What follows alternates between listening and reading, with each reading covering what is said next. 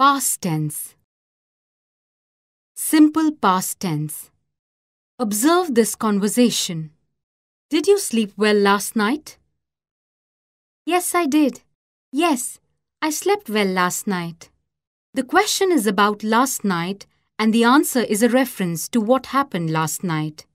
I did or I slept. At the time of saying, she is not sleeping. The sleeping is over. It was in the past. So this form of the verb, I did, is called the simple past tense. Here is another conversation. Where is Supriya? She is not here. She left a minute ago. She left is the simple past tense. It shows what she did some time ago, but it also shows that she is not here. In fact, the question, Where is Supriya?